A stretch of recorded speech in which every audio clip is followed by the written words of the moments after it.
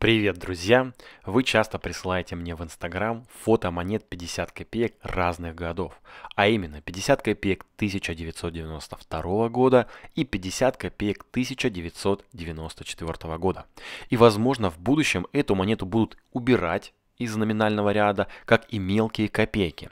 И в этом видео я хочу вам показать дорогие 50 копеек 94 года, которые я купил к себе в коллекцию у своего подписчика. На первый взгляд это какие-то странные монеты 50 копеек, а стоят они больше 500 гривен. А разобраться, что это такое и сколько это стоит, поможет вот эта книга «Экзонумия». Авторы этой книги сами являются коллекционерами, и благодаря тем знаниям и изучению монет долгие годы появилась эта книга.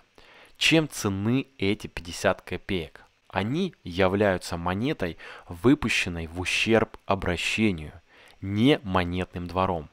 Подделывать платежные средства начали почти сразу после их появления. И на разных профильных площадках по продаже древностей и антиквариата мы можем встретить поддельные платежные монеты, платежные слитки, подделывая гривны тех времен.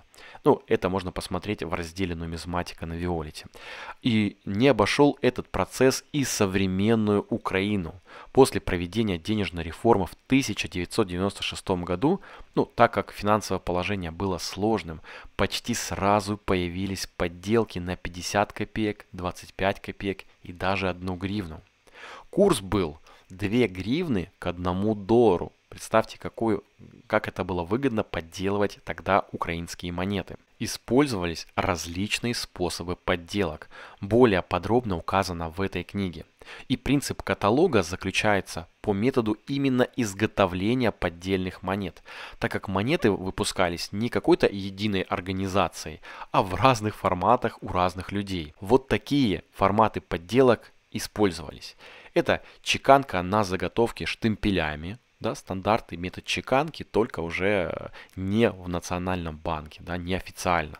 Метод составной, а, это чуть подробнее я могу рассказать в следующем выпуске, как это происходит. Это литье, бывает как в многоразовые формы, так и в одноразовые.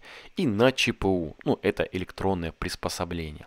И в этой книге показаны монеты в различных способах изготовления. Более 100 экземпляров фальшаков представлено в каталоге. А как думаете, сколько времени понадобилось для подготовки такого труда? Как я знаю, полтора года авторы готовили данную книгу, изучали монеты, покупали их на разных площадках полтинники мы еще получаем на сдачу и можем поискать в копилках что-то интересное. Именно поэтому я показываю вам эту книгу и эти монеты.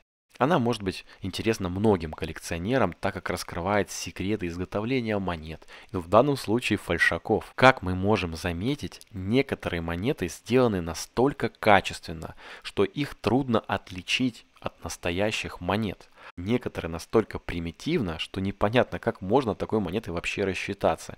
И ей специально ухудшали качество, состояние, чтобы люди не заметили, что это подделка. Ну вот как, например, на этой монете. Материал фальшаков использовали тот, какой у кого был. Это и тампак, и свинец, и какие-то другие материалы. И это делает коллекционирование таких монет особенно красочным и интересным. Цена на такие фальшики очень разная, от 500 гривен до нескольких тысяч, в зависимости от уникальности, красоты. Ссылку на раздел с фальшиками на Виолете я оставлю в описании, и вы можете посмотреть, какие были продажи, какие примерно цены и какие они бывают. Также вы можете выставить на продажу или прикупить к себе в коллекцию.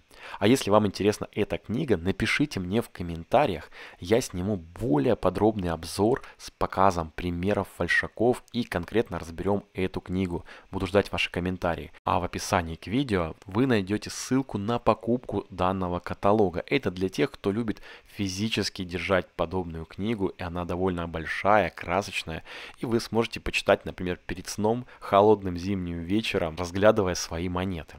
Друзья, я желаю всем удачных поисков редких монет и не только. Просто вам удачи по жизни и фарта. И до встречи в новом видео. До вторника жду ваших комментариев. Всем пока!